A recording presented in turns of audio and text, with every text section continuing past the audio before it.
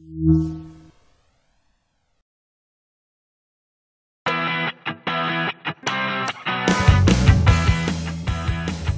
2010 Ford Escape XLT.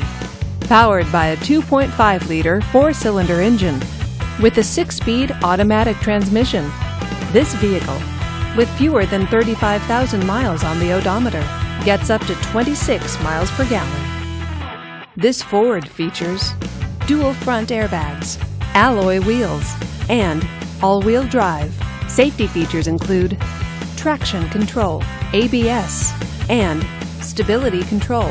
Comfort and convenience features include power windows, satellite radio, and a CD player with MP3. Give us a call to schedule your test drive today.